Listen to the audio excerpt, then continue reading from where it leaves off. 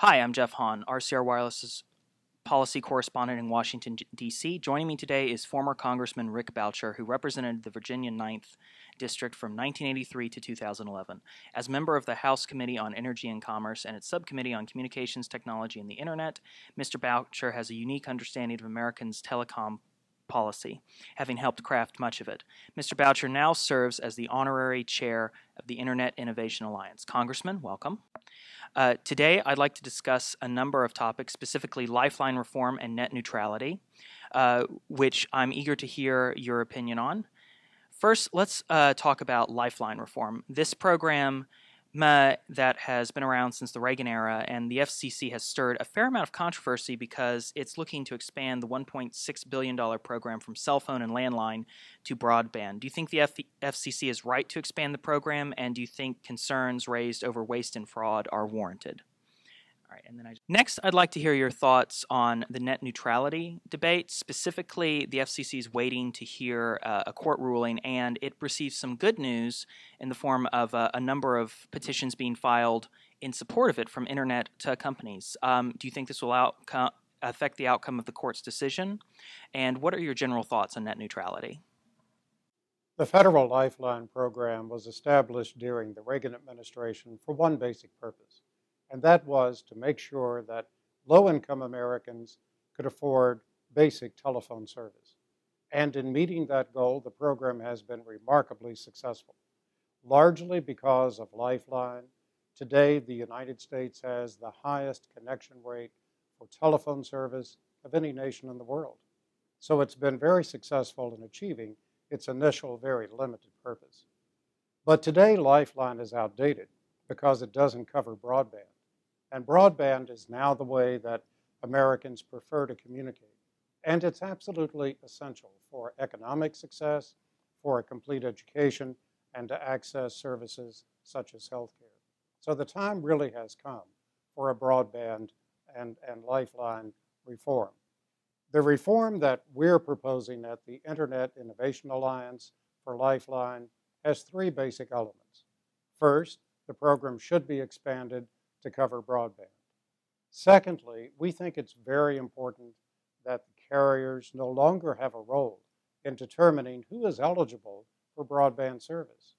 Today, the carriers make that decision, and the carriers have every incentive to qualify as many subscribers as possible because they want as many subscribers as they can have.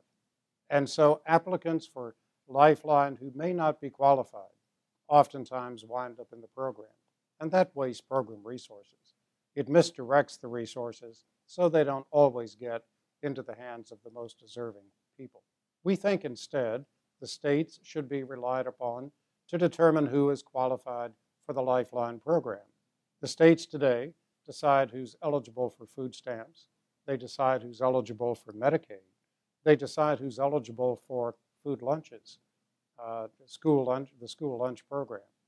And we think that as the states make determinations for eligibility for these programs, they should also be able to sign people up for the Lifeline program. The eligibility standards are the same, and so why not coordinate the Lifeline enrollment with enrollment in these other federal low-income programs? The third reform we think makes a great deal of sense is to send the lifeline subsidy directly to the consumer. Don't send it directly to the carrier. Give it to the consumer in a way that makes it portable, and the consumer can then shop among the carriers and choose the carrier, wired or wireless, best suited for that consumer's needs, and then choose the service that carrier offers that best meets that consumer's desires. These reforms, we think, are fundamental and would modernize Lifeline for the 21st century expand it to broadband, have coordinated enrollment in the program with the states as the states make decisions for other low-income assistance programs, and make the benefit portable, send it to the consumer, let the consumer shop among carriers, and choose the one best suited to that consumer's needs. All right. The longest standing telecom policy debate of this century is net neutrality started a decade ago. It's been very controversial ever since, and it's still unresolved. I'm a longtime proponent of network neutrality guarantees. I think the network needs to be open. I think it's important that the uh, last mile providers not be in a position to discriminate in favor of their own content to the disadvantage of unaffiliated programmers and to the disadvantage of their subscribers. So I strongly favor network neutrality. I've had that position since the start of this debate 10 years ago. And I have been frustrated because we have not been able to this point to embed network neutrality principles firmly into federal law. And the fight is still not won. The FCC recently uh, recategorized broadband as a telecommunications service and has applied common carrier rules to the broadband pathways.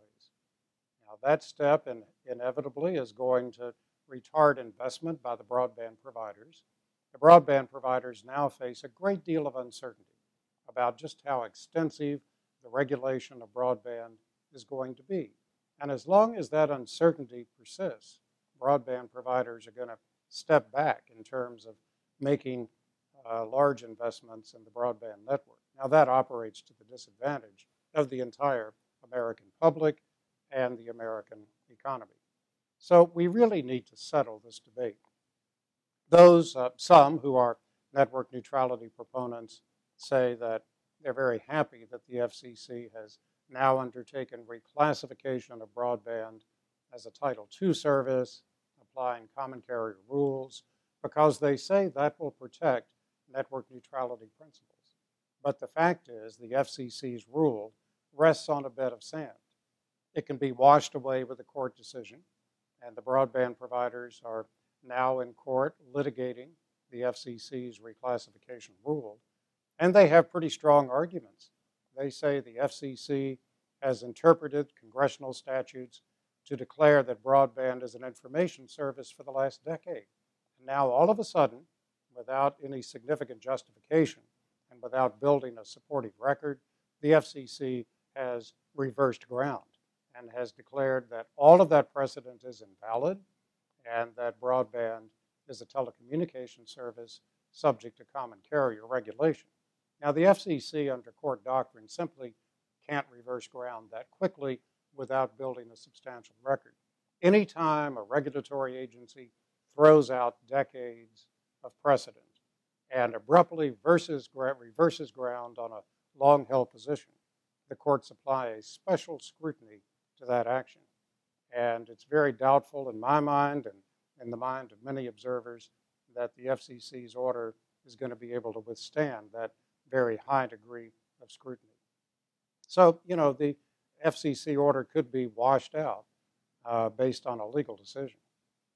Even more understandable, uh, perhaps, is the fact that if a Republican wins the presidency next year, there's then going to be an FCC majority that is three to two Republican, and it's virtually certain that one of the early orders of business for a Republican FCC would be again to declare broadband to be an information service. And when that happens, the network neutrality protections contained in the recent reclassification order would be lost. So the network neutrality proponents who say that they have achieved their long held goal of, of, a victory for network neutrality with the reclassification order uh, need to think again. It can be swept away with a court decision, it can be swept away with the next presidential election. Now, there is a better way, and that better way is for Congress to put this decade long debate to bed once and for all by passing a very simple bill. The bill would have two components. The first of those would be to embed strong network neutrality protections into permanent law. That uh, statute would then be virtually immune from a court challenge, and for all time until Congress acts again, uh, the network neutrality guarantees would be protected. That would give the proponents of network neutrality the long sought victory that has eluded them up to this point in time. The second provision of that bill would be to declare that broadband is an information service and that common carrier regulation cannot be imposed upon it. And that would give the broadband providers and their Republican allies in Congress the victory that they're seeking. So uh, this is an instance where legislation really is possible because the issues are narrowly defined. They're two in number. Both sides of the equation, Democrats and Republicans, have uh, relatively equal leverage. Each party can give to the other the thing that it wants the most. And in that kind of circumstance, legislation really is possible. The Republicans have moved a very long way in this debate. I've watched every step in this parade now for the past decade. And I can say that up until the last couple of months, the Republicans have strongly resisted providing network neutrality guarantees. And now the Republicans have offered to Democrats embedding strong network neutrality principles in a statute in return for continuing the long-held designation of broadband as an information service and placing that provision in permanent statutory form as well. So the opportunity is there. I'm a Democrat. I have urged my Democratic colleagues, my former colleagues, my friends in Congress to accept this Republican offer because it is sensible for Democrats, giving them the victory on network neutrality they have long sought and which they have not obtained in the uh, uh, reclassification order at the FCC because of its impermanence. And it also is good for America because it will free the carriers of legal uncertainty and put them back in a strong position to make investments that our network needs. That's the right way forward. And I very much hope that Congress uh, will, sometime during the course of this year or early next year, pass a network neutrality bill that embodies those principles.